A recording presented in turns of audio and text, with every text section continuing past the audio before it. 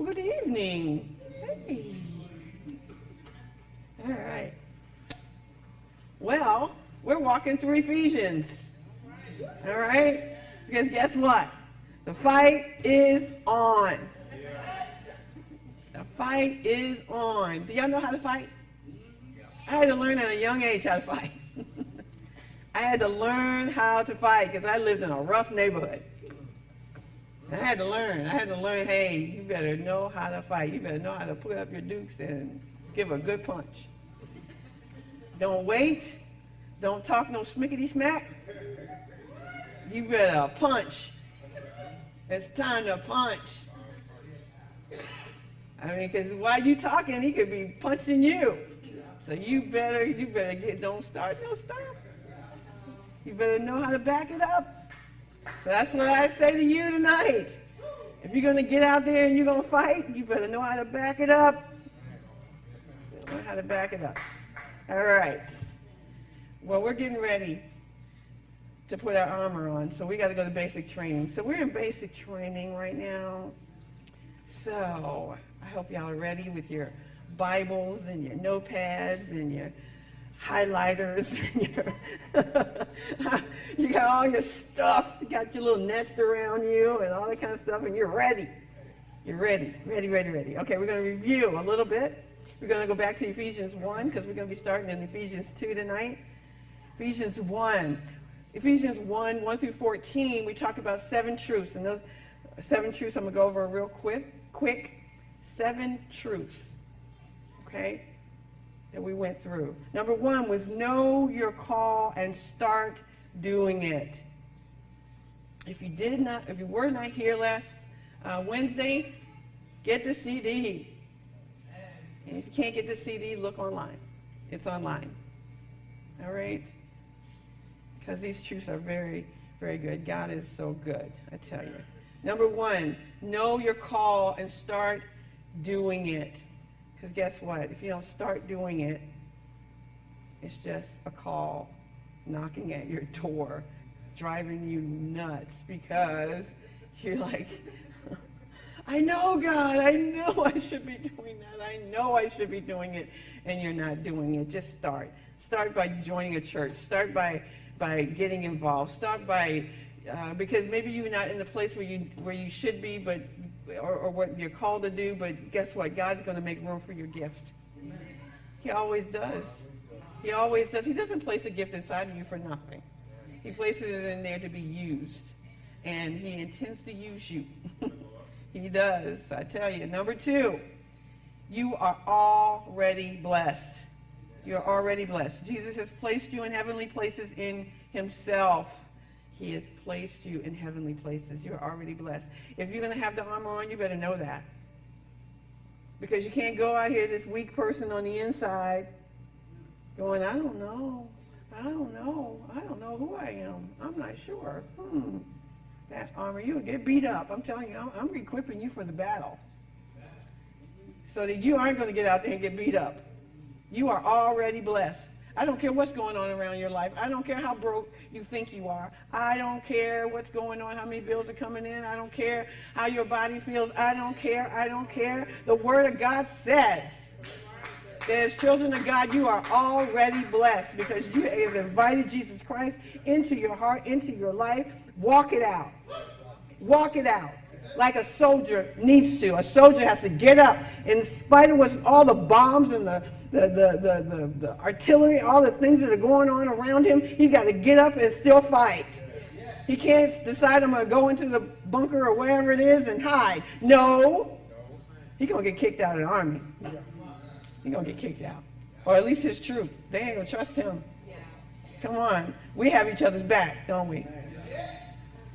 We're gonna get we're gonna we're gonna get there. We're gonna get there. We're gonna have each other's back. Number three. I got men up in here. Where the women at? Yeah. I got one. All right.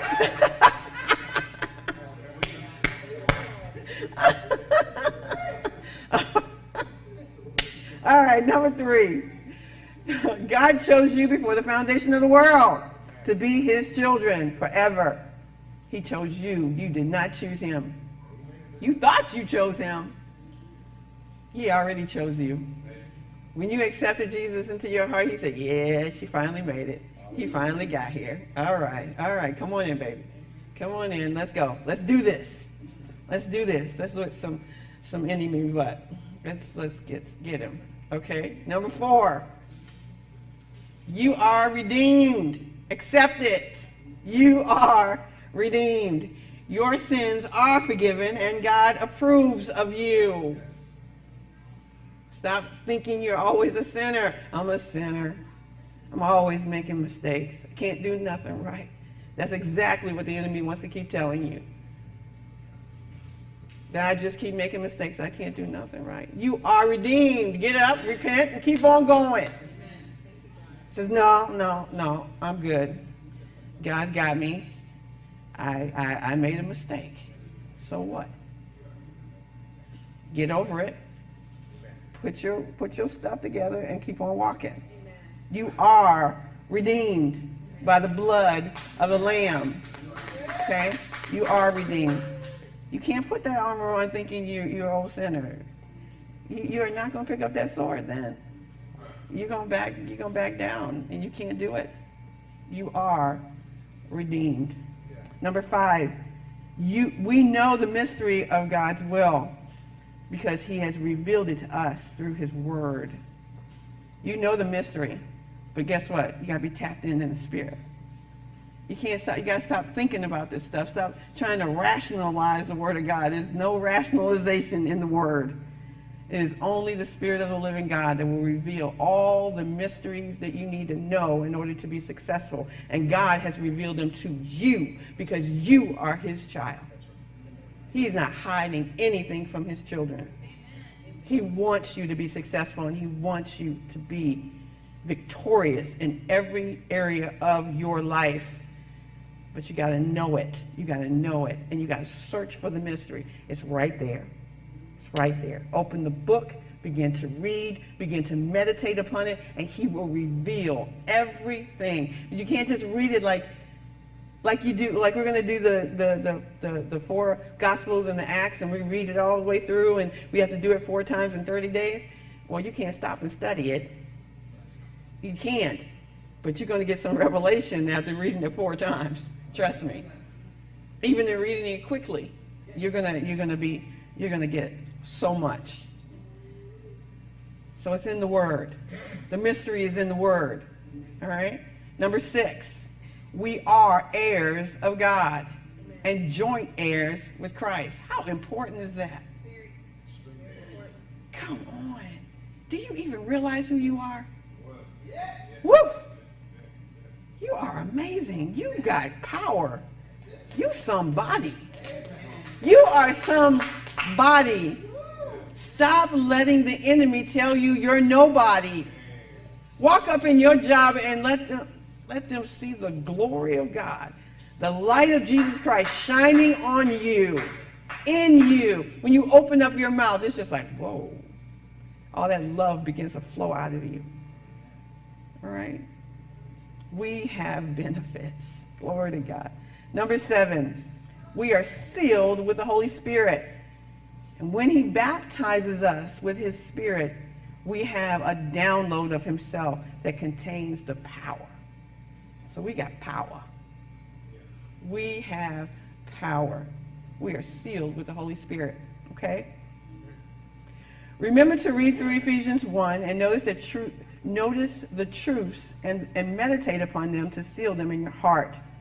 These truths are to, be, to strengthen you for the battle and the war that is ahead of you to be a good soldier in battle and an effective in battle, that you will handle your armor well and come home with the victory and the reward. Okay?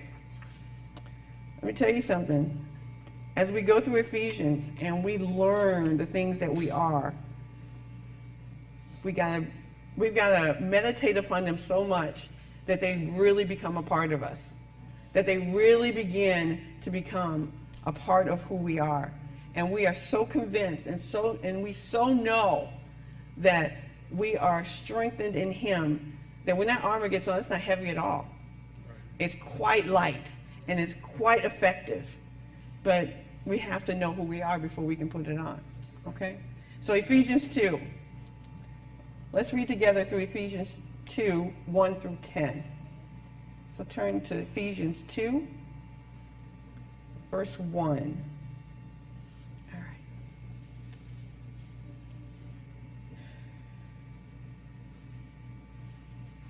And you he made alive, who was dead in trespasses and sins, in which you once walked according to the course of this world, according to the prince of the power of the air, and the spirit who now works in the sons of disobedience, among whom also we all once conducted ourselves in the lust of our flesh, fulfilling the desires of the flesh and of the mind and were by nature children of wrath, just as the others. Don't fool yourself to think that you weren't disobedient and a sinner. Don't think I always been saved. Yeah. okay. Verse 4. But God. Don't you love those two words? I love those two words. But God, who is rich in mercy because of his great love with which he loved us, even when we were dead in our trespasses, made us alive together with Christ. By grace you have been saved, and raised up, raised us up together, and made us sit together in heavenly places in Christ Jesus. There it is again. Verse 7 that in the ages to come he might show the exceeding riches of his grace in his kindness toward us in Christ Jesus. For by grace you have been saved through faith. It's by your faith that you've gotten where you are. Faith in God, faith in who he is, faith in the word of God, faith in what you've read and what you've been told. And then you made the decision I am going to accept Jesus Christ into my life. And he came in because you asked him to, by faith, right? By faith. And that not of yourselves, it is a gift of God. Not of works, least anyone should boast. For we are his workmanship, created in Christ Jesus for good works, which God prepared beforehand that we should walk in them. All right, we're going to talk about not by works, but by grace. We're going to get some more truths, okay? We got four more for this chapter. Four more truths. Number one, we all were there in our sins. Don't think yourself more highly than you ought to. Like you already then made it. I'm, I'm, I'm shining and I'm great. You are, but don't ever, ever forget when you're reaching out to your brother who is, who is struggling to reach yourself out and love him enough to pull him up. Because if it had not been for God, you would have been right there too. But it's, it's God on our side, the gift of God. So I don't sit there and feel sorry for myself. And I definitely don't sit there and feel like I'm better than somebody else. So when I have that armor on, I fully understand who I am. I fully understand where I've come from and where he's, he's brought me from and where he's taking me. Okay? I have to fully understand that. So when I wear that armor, I wear it with great understanding. No matter how good or bad if we were not in Christ, we were sons of disobedience and away from God. But God, right? But God. Number two, we are covered by his mercy and grace.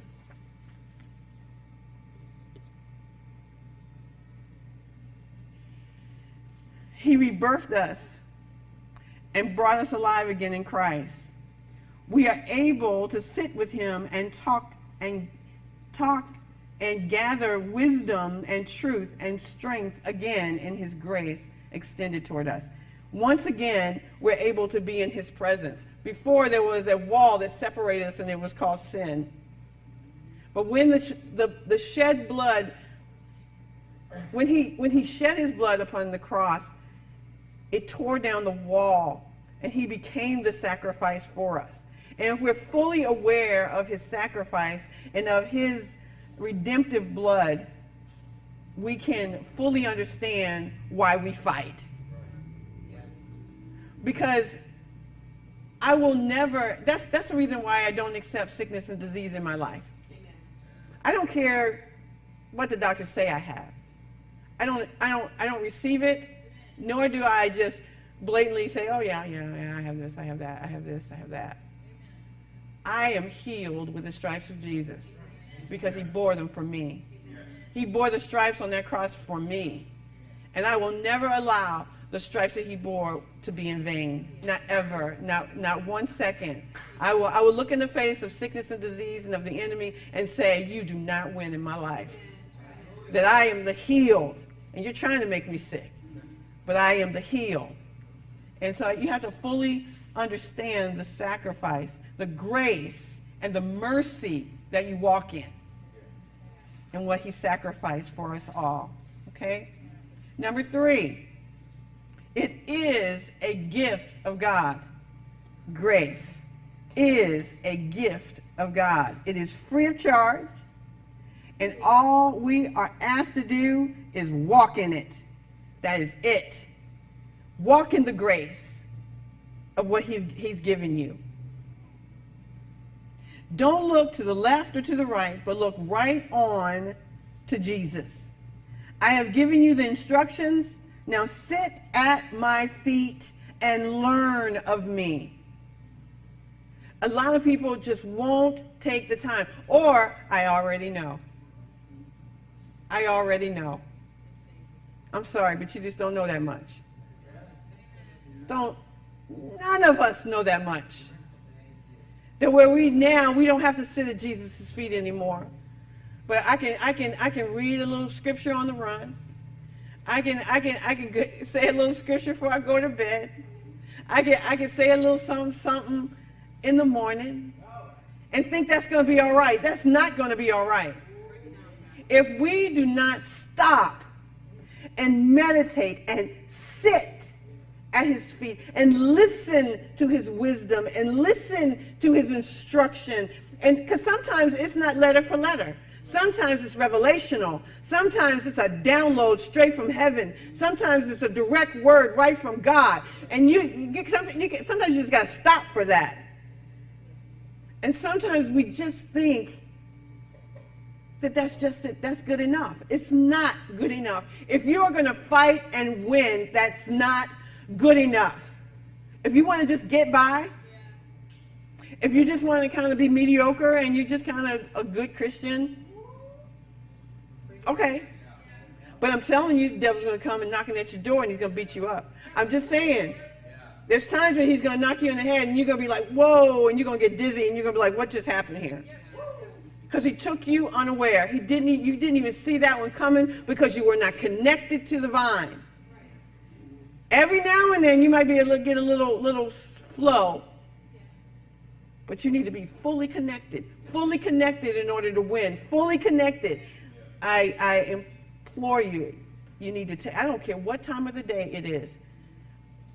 If, it, if it's 5 o'clock in the morning, if that's the only time you got, get, get up, get in the Word, let God just wash over you, put some worship music on, uh, get your Bible and your and your notepad and your pen. Hear what God is saying. Get the downloads from heaven and say, God, what is it that you want me to know today?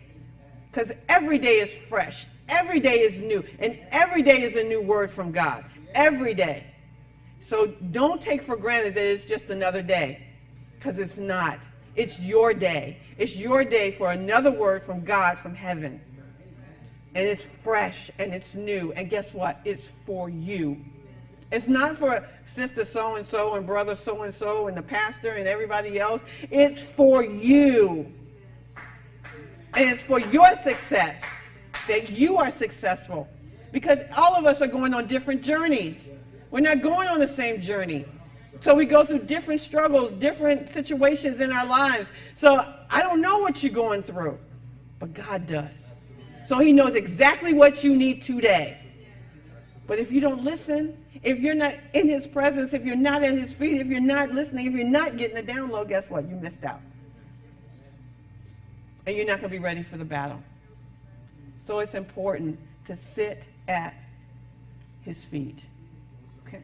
Number three, grace is a gift of God. So it's important to sit at his feet and receive the gift from heaven. Okay? Number four, it's not by your works. I don't care how much you work here in this church. I don't care how many clothes you gave to the poor. I don't care how many shoes you gave to, to the orphans in, in, in Zambia. It's not about your works. It's a gift of God. It's, it's, it's, it's, it's, it's, you just got it. You got it because you received him into your heart. You received him into to your life. Grace is there for you to accomplish and get accomplished everything you need to accomplish. Grace is just there. It's not there because you're such a great person, because you've done so much. It's there because you just woke up and you accepted him into your day. And you said, God, walk with me and talk with me all the day long. I want to hear you and I'm going to be sensitive to your voice. And you know what? I'm going to be obedient to what you tell me to say, do. Because if you tell me to talk to sister so and so, if you tell me to talk to the brother over there, if you tell me to talk to whoever it is, I'm going to do it. If you tell me to give, that's a hard one, isn't it? If you tell me to give, whatever it is you tell me to give, I'm going to give it. Now, if you tell me to give all my clothes in my closet, I'll give all my clothes in my closet.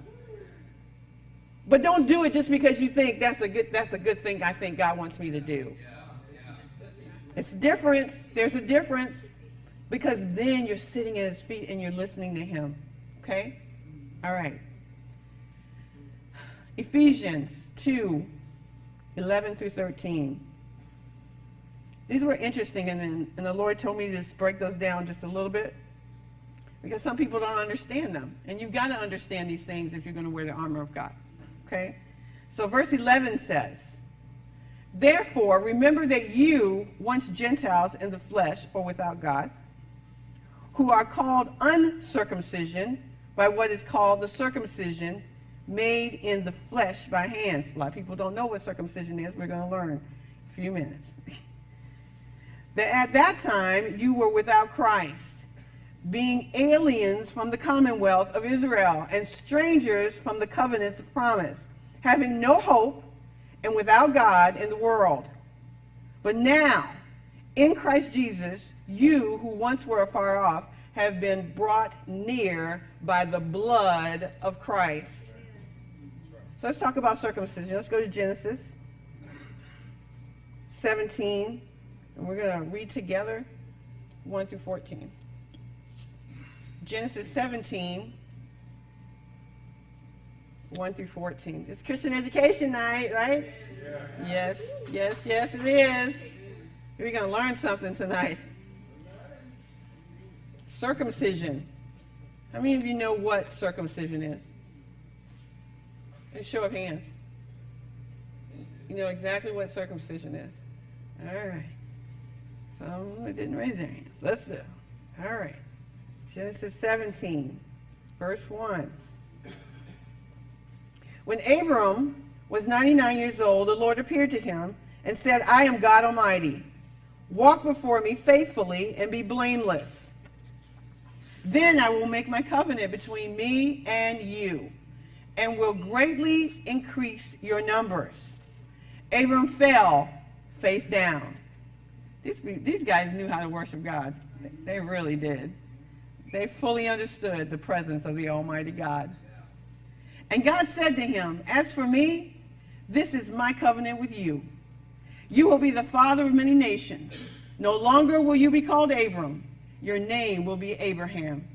For I have made you a father of many nations and I will make you very fruitful, and I will make nations of you, and kings will come from you. And I will establish my covenant as an everlasting covenant between me and you and your descendants after you for the generations to come, to be your God and the God of your descendants after you. You do know you're a descendant from Abraham, right? Okay, he said you were a king. Hmm, all right then.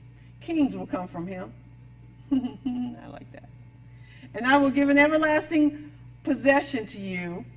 I'm sorry. The whole, the whole land of Canaan, where you now reside as a foreigner, I will give as an everlasting possession to you and your descendants after you, and I will be their God. Then God said to Abraham, As for you, you must keep my covenant, you and your descendants after you, for the generations to come. This is my covenant with you and your descendants after you, the covenant you are to keep. Every male among you shall be circumcised. You are to undergo circumcision, and it will be the sign of the covenant between me and you. For the generations to come, every male among you who is eight days old must be circumcised, including those born in your household or bought with money from a foreigner, those who are not your offspring, those who are not your offspring, whether born in your household or bought with your money, they must be circumcised. My covenant is in your flesh is to be an everlasting covenant. Any uncircumcised male who has not been circumcised in the flesh will be cut off from his people, and he has broken my covenant. This is the covenant that God made with Abraham as a covenant with God and man. Circumcision is a, a removal of the foreskin of, of, of a male organ. and it was a sign from the male that there was a covenant with God. But God, once again, what happened after Jesus? Find out. Let's go to Galatians 5 5 through 6. Covenants are very important to God. Once God makes a covenant, nothing will change it. Nothing will change it. And God made covenant with you. And once you make covenant with Him, it's important. He'll never break it. Only person that's going to break it is you. He won't. Galatians 5 5 through 6. For through the Spirit, by faith, we ourselves eagerly wait for the hope of righteousness. For in Christ Jesus, neither circumcision or uncircumcision counts for anything, but only faith working through love. How about that? What happened was I, people began to make it bigger than what it was, where people were being disobedient even though they were circumcised. They were walking in their own ways, doing their own thing against God, but yet they fleshly had the covenant but fleshly doesn't mean anything if it's not of the heart. It means nothing. And so Jesus came to uh, eradicate that and make sure that we fully understood what a covenant meant. Romans 2 28 and 29. Romans 2 28 and 29. For no one is a Jew who is merely one outwardly, nor is circumcision outward and physical. But a Jew is one inwardly, and circumcision is a matter of the heart, by the Spirit, not by the letter. His praise is not from man, but from God we have to remember, we have to check our heart. And it's all by love. It's all by love. If we are acting terribly toward our brothers and sisters, toward people, toward people, I even go toward our husbands. You know who we want, who we seem to, uh, I don't know, seem to treat badly more than anybody else is, is the ones that are closest to us. And we think we have a right to do that. We don't have a right to treat, treat our husbands wrong or treat our, our, our wives badly. We don't have a right to do that. The only, the, the, we, we, the only thing that we're supposed to do is to love them. And we cover that love with faith, knowing that our faith is going to take us where we need to go. Okay? All right. Let's talk about the blood. The blood. The blood of Jesus. Hebrews 9 22. Hebrews 9 and 22. I can't believe it. A lot of a lot of churches have stopped talking about the blood too. It's such an important part of our salvation. Wow. Hallelujah. Hebrews 9 22. 9 and 22. And according to the law, almost all things are purified with blood. And without shedding of blood, there is no remission. That's the way God set it in motion. That it is the blood of a person that brings life. So it is a life source. And God always used blood in order to um, bring protection and to bring uh, uh, sanctification and cleansing, always. Let's look at Hebrews 9 and 12. Just go back some few verses 9 and 12. It says, Not with the blood of goats and calves, but with his own blood he entered the most holy place once for all, having obtained eternal redemption. He took it for us. He shed the blood for us all, not with goats and calves and turtle doves and all those cute little things. No, with his own blood. All right, we're going to go back. Exodus 12 and 13. Exodus 12 and 13.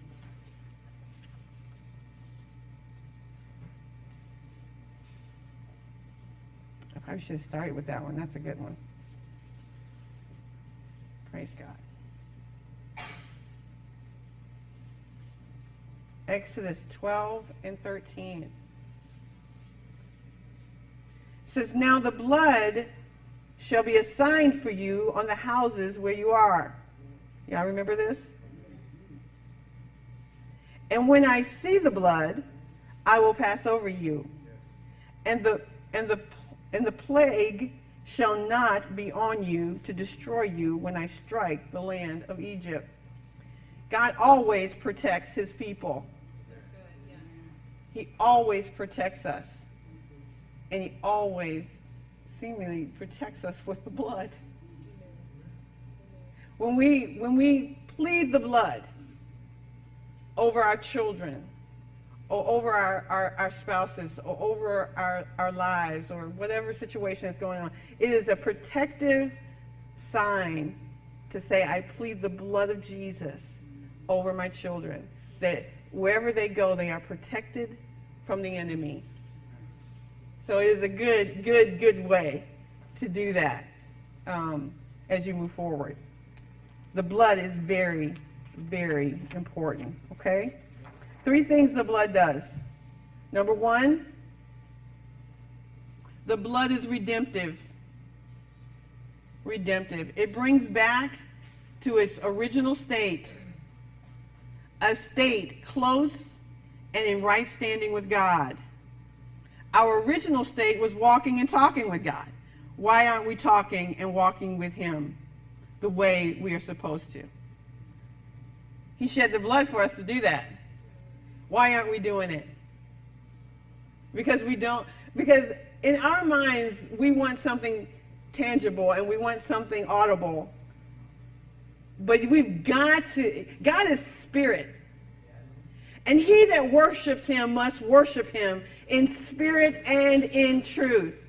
if we don't enter into and drop this mind and drop this thinking, we are never going to connect with God. We got to stop thinking that He's going to come down in some wonderful shadow and begin to touch us and rub our head. He's not going to do it. I know some people have gotten amazing visions of Jesus and of God and of angels, and I think that's amazing. But that's not what we should live for. Because even the devil himself can disguise himself as an angel of light. Be careful what you ask for. Okay? That's the word. Be careful what you ask for. Know that you know that God is and that God hears you. And rest in that and know and be self-assured of that. And don't don't don't Yes, just know. And if God wants to reveal himself like that to you, praise Jesus. I want to hear about it. I love it. I think that's amazing. But that's not what we should live for every day. That's not what we should be living for. We should know that we know. He says, those that would, would, what, would, that would believe in me without seeing me and without touching me, they are even greater than the rest. That just like when he, what he told Thomas.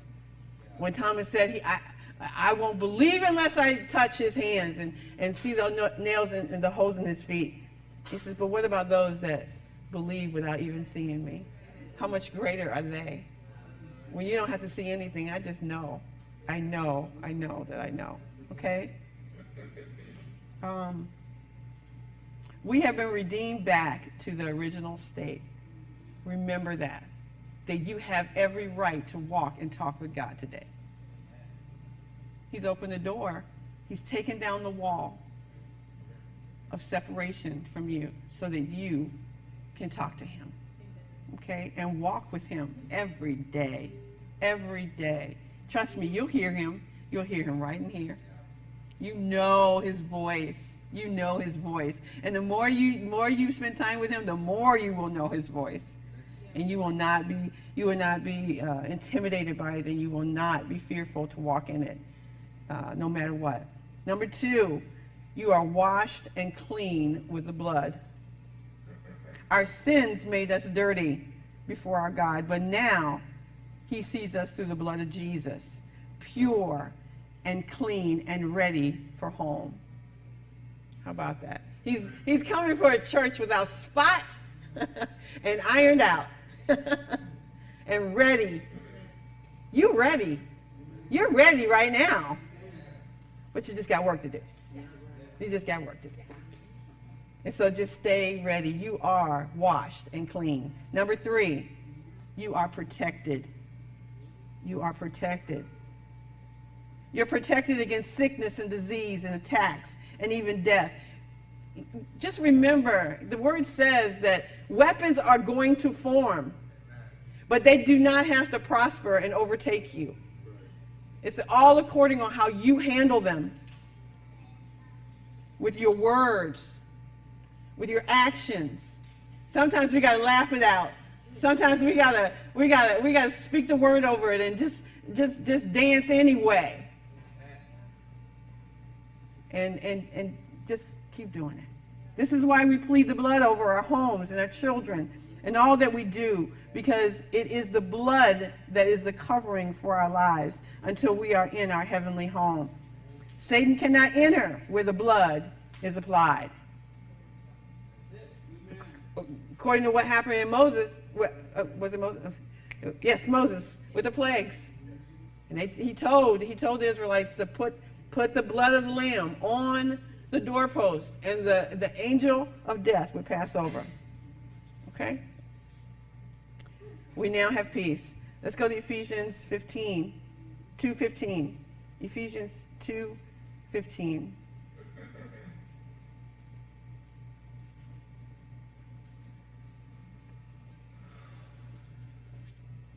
It says Jesus tore down the wall that brought peace.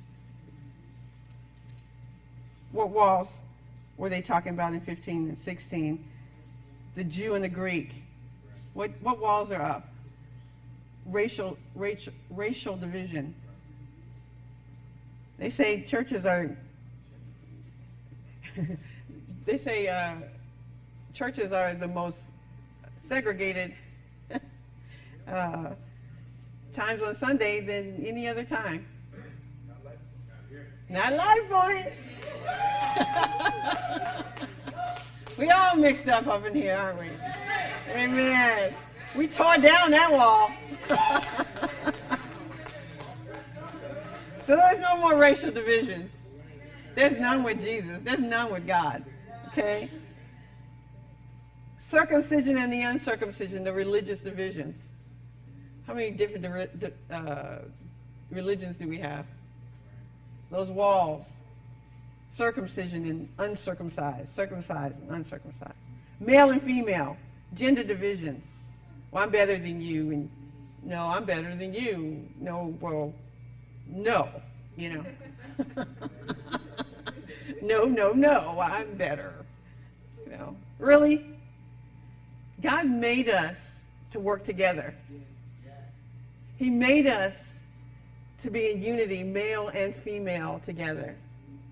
He saw that, he said, you know, it wasn't good that a man be alone. Men. but a woman comes to complete him. And you know what? He comes to complete us.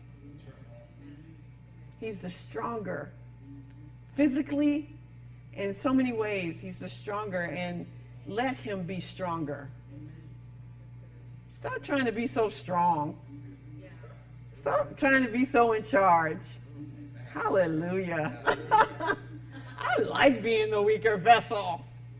I like him loving me. I like him him taking care of me. I like it. I love it because he knows when the time comes if I have a if I have an answer, he listens. We complete each other and we complement one another. That's what marriage is supposed to be like. Okay? I don't have to be the strong one. I've seen the job. I don't think I want. I know I don't want it. I don't want the job. All right. We are all meant to work together for one common goal to come back to our original state, walking and talking with God in the cool of the day and having dominion over the earth with God as our source and everything. That's our goal, guys. We aren't there yet. So we got work to do. We got things we have to do, things we have to accomplish. Okay? Let's go to Ephesians 2 17, to 17 and 18. Ephesians 2 17 and 18. He says, And he came and preached peace to you who were far off and to those who were near. For through him we both have access by one Spirit to the Father. Jesus is our cornerstone. He is our cornerstone. We are one family, with Jesus being the chief cornerstone. What is a corner, cornerstone? Something that is essential and indispensable or basic. The chief cornerstone on which something is constructed or developed. It is the very thing that holds the building together and keeps it from falling apart. He is the one that keeps us together and keeps us from falling apart. I want you to remember that. that. That seems so basic. Some of the things I say sound so basic, but yet we miss it. Eh, we miss it all the time. We have to stop missing it. Stop making this hard. It's not hard. It's just a decision every day that He will be my chief cornerstone. Our basic essentials is necessary things we need every day washing our bodies, brushing our teeth, eating, drinking, etc. He is essential and indispensable. We cannot do without him. He is the foundation that should that should develop our whole life. Our life should not we should not fit Jesus into our life, but we should fit our life around Jesus. I want you to write that one down. you need to write that one down. Seriously. We don't we don't we don't fit our life around Jesus. We fit our we don't fit Jesus around our life, but we fit our life around Jesus. He's got to be the chief cornerstone, the essential part in our life every day when we wake up in the morning, when we go to bed at night. He should have walked, we should have walked with him and talked with him all day. Okay? All right, all right, all right. We are getting there. Ephesians 2 19 through 22, the last few script, scriptures. 19 says, Now therefore, you are no longer strangers and foreigners, but fellow citizens with the saints and members of the household of God, having been built on the foundation of the apostles and prophets, Jesus Christ himself being the chief cornerstone in whom the whole building, being fitted together, grows into a holy temple in the Lord. You are growing into a holy temple in the Lord, in whom you are whom you also are being built together for a dwelling place of God in the Spirit. When we do that, we become a part of the family. I mean, it's it's very interesting with churches today. They're so busy. We're kind of bringing them in and taking them out, and bringing them in, and like we're going to two services in August, and, and, and I tell you, and and the challenge is, is to keep it as a family still. To stop, don't make it seem like we're bringing them in and they're going out bringing them in and they're going out. But letting them know that they are loved, that they we care, that, that there are a team of people here that are ready and willing to love them and to nurture them and to bring them into uh, a solid foundation with God. And that we are family together. We're not, this isn't, this isn't just about church and just about uh, growing numbers. It's about growing people in their relationship with Jesus Christ. That alone. That alone. That people really understand who they are. So that they they too can can fight the battle and be able to win and not feel like they're being smothered and being punched every day by the enemy. And, and enough is enough. And so we don't want to just bring them in and send them out and bring them in and send them out, but we want to send them out equipped and ready for the battle and making sure that they are strong in the Lord and in the power of His might and not their own. Okay? No longer strangers, but fellow citizens, saints, and members of the household of God. That's what we are. We're family now. We're family now. if if uh, if that song didn't say we are, uh, I got all my sisters in me, I'd have y'all play it. But you know, we ain't all sisters. We we brothers up in here too. So. I, but I like the I like the song. it's easy to fight for the family, isn't it? You know, when we think we're we're just fighting for just ourselves. I mean, I know I know how I feel as a mother as a mother, I'm ready to fight. I mean, don't touch my baby. Today's my baby's birthday. My baby is 27 years old. so I tell you, I, I, you know, I'd fight for them. And when you really feel like a family, and when you really feel like you are the body of Christ, you'll fight for each other. You, you know, you're gonna let nobody harm your sister. You're not going to let nobody harm your brother. And, and you make sure that you're standing for them. And so that's how we need to be. Um, because when we get that armor on, we really learn about what the helmet means and what the breastplate means and what, the, what that loin of truth means, and we begin to really start putting that, that armor on, you're going to be ready. Just remember, this is basic training, right? Yes. All right, all right, this is basic training.